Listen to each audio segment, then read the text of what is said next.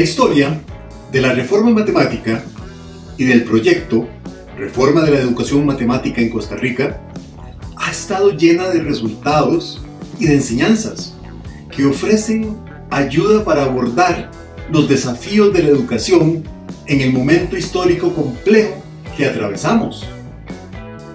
No obstante, su éxito definitivo siempre será impredecible, dada su naturaleza estratégica y sobre todo debido a su perspectiva radicalmente innovadora.